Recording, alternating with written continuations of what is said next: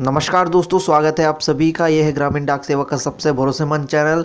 दोस्तों, आज आपको बताएँगे, अमित शाह जो नेशनल प्रेसिडेंट है भारतीय जनता पार्टी के, उनसे ए आई के मेंबर्स मिले थे उनसे जनरल सेक्रेटरी मिले थे।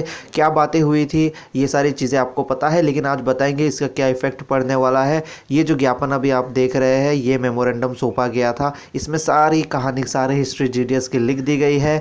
कहाँ है अभी फ़िलहाल रिपोर्ट फाइनेंस मिनिस्ट्री में ये भी लिख दिया गया है। कैबिनेट कैबिनेट से अप्रूवल चाहिए।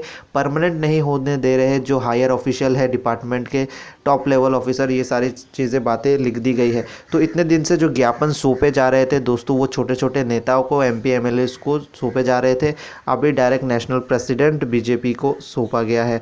आप यहाँ पर देख सकते हैं दोस्तों लेटर में अच्छी तरीके से लिखा गया है कि यहाँ पर प्राइम मिनिस्टर की दखल देने की बात सामने आनी चाहिए। Intervention for regularisation of GDS तो यहाँ पे आप देख सकते हैं, पूरा पत्र में यहाँ पे हिस्ट्री लिख दिया गया है, कैसा शोषण होता था और क्या क्या हुआ है अब तक जीडीएस के साथ।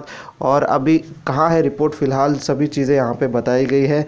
तो दोस्तों, ये अमित शाह जी को दिया गया है और उन्होंने ये बताया है एस भेजा नहीं गया है, साथ में मिलकर मीटिंग होने के बाद ये ज्ञापन सौंपा गया है और ये बताया है उन्होंने कि उनको अंदाज़ा है, उनको जानकारी है जीडीएस के बारे में और वो अपना बेस्ट करेंगे कि वो यहाँ पे इम्प्रूवमेंट हो। तो ये अच्छी खबर है और हम यहाँ पे उम्मीद कर सकते हैं कि आगे प्राइम मिनिस्टर से भी मिले और यहाँ अगर प्राइम मिनिस्टर से मीटिंग होती है पंद्रह मार्च को, वैसे भी धरना है। अगर मीटिंग होती है तो जल्द से जल्द लागू हो जाएगा आपका रिपोर्ट और यहाँ पे पेंशन और रेगुलराइजेशन की भी बात की गई है तो अच्छी बात है।